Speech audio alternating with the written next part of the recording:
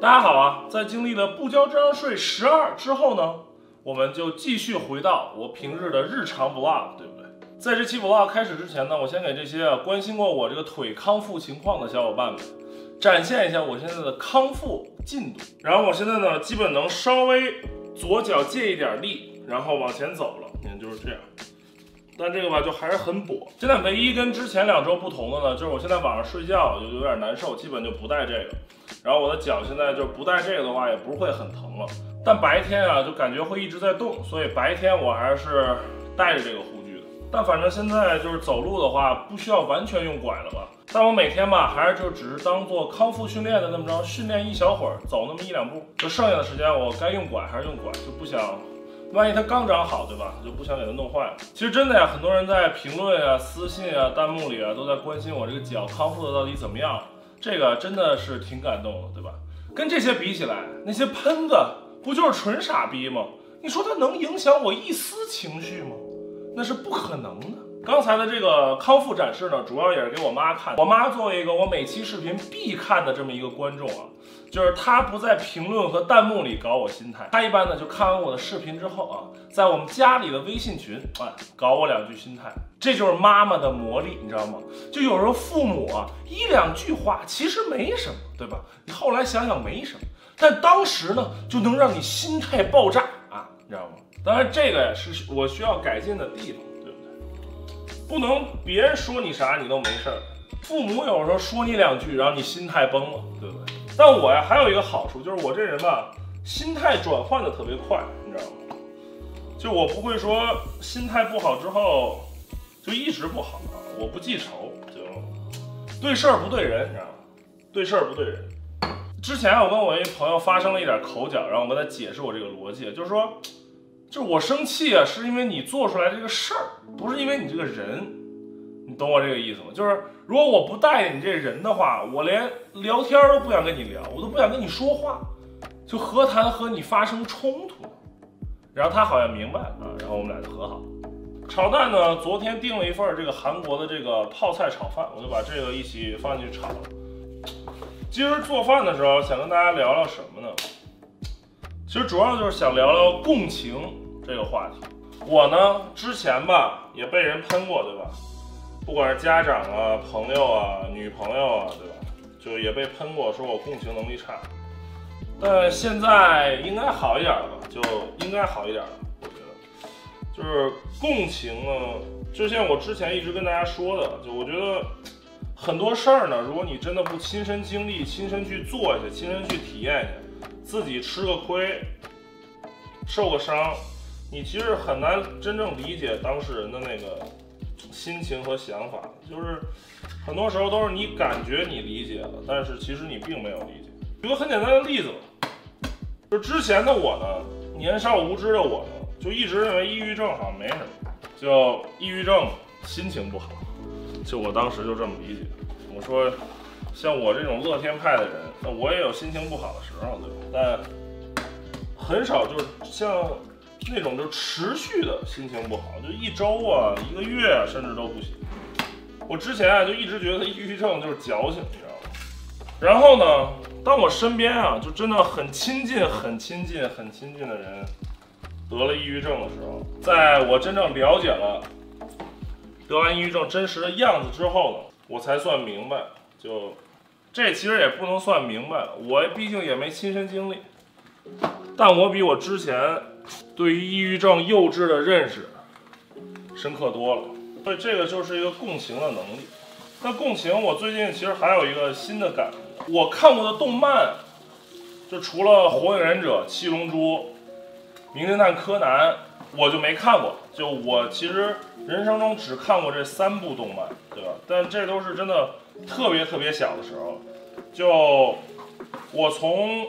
小学毕业之后就没接触过动漫了，就二次元的世界呢，我也没接触，就对那些喜爱动漫的二次元宅男有一些刻板印象。我承认我当时也有啊，我就不太理解，我就不明白有那么多好看的动漫吗？就是然后然后看完动漫的人对吧，还买手办呀，对吧？然后手办还都挺贵，然后我就不太能理解这件事儿。就你看很多人对吧，买个手办摆家里还就供着，对吧？最近啊，最近两天啊，机缘巧合。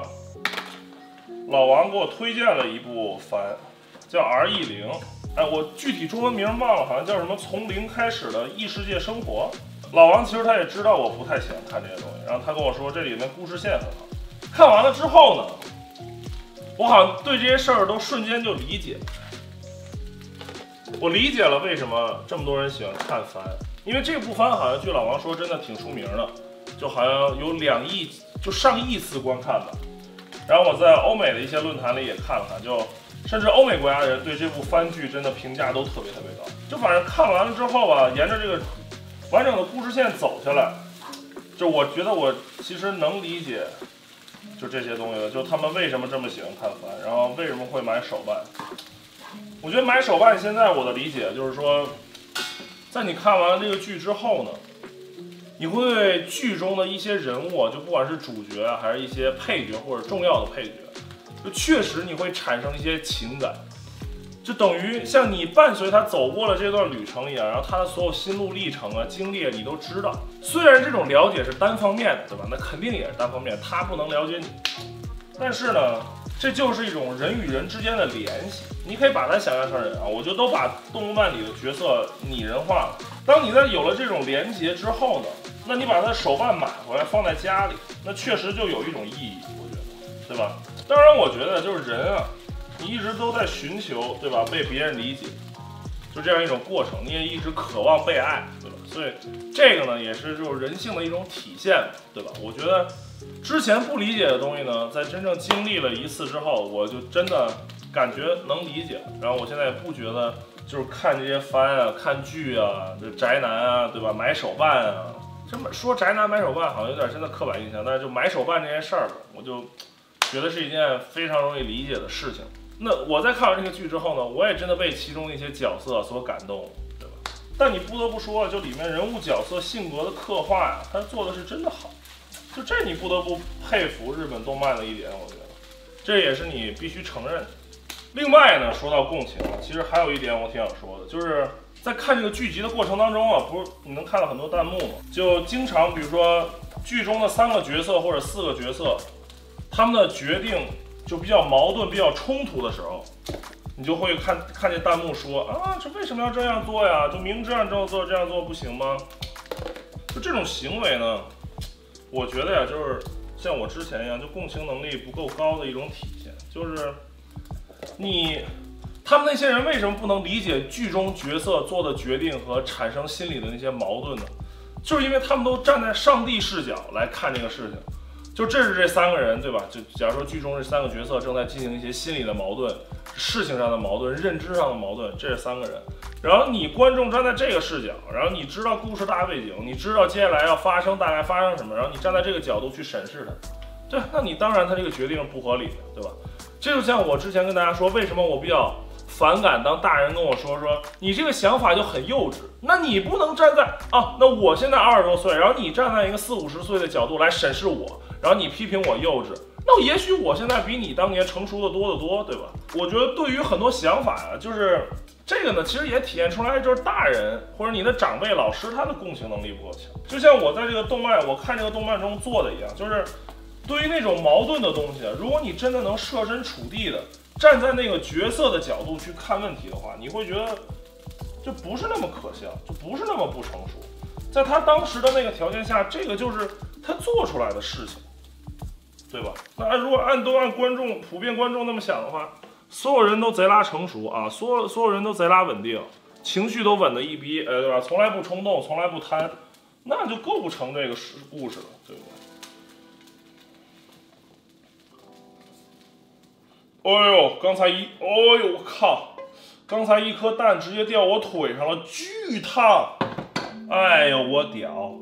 但你们懂我这个意思了吧？对吧？这个我觉得，对吧？更适用于现实生活中了，对不对？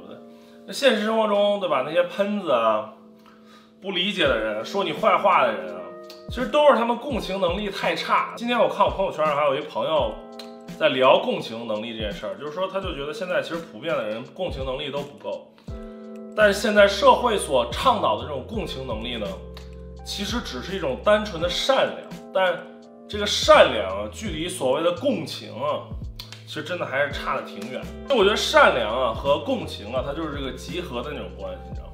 就共情能共情的人，他必定善良；但能善良的人，他不一定能共情，你知道吗？就是善良这个大集合里，共情是其中的一个小集合。你看每个人啊，那都有优点，都有缺点，对吧？然后你每个人经历也不同，从小的原生家庭也不同，你父母的经历又更不同，对吧？然后你父母的认知对你的态度也不同，所以一个人呢，他变成现在这样呢，他就是有他的道理的。所以我记得在之前我有一期视频里啊，有一个观众给我留言说，就是一个更高的境界，是即使他们不理解你，你也能去理解他们。我觉得这个就是一种共情的比较高的境界的这种体现了吧。就我觉得这种境界其实真的是挺好。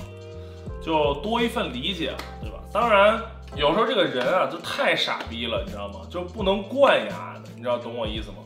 就是该喷还得喷，要不然，对不对？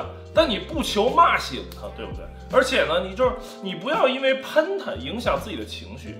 就有些时候，我觉得情绪嘛，你就是得发泄出来，对不对？你自己憋着就很难受。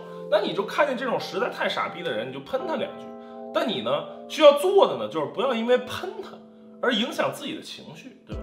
就喷子呢，他之所以成为喷子，对吧？就是他对他心中那点匮乏的那么一丢丢知识，做到如此固执的程度，那也是有原因的，对不对？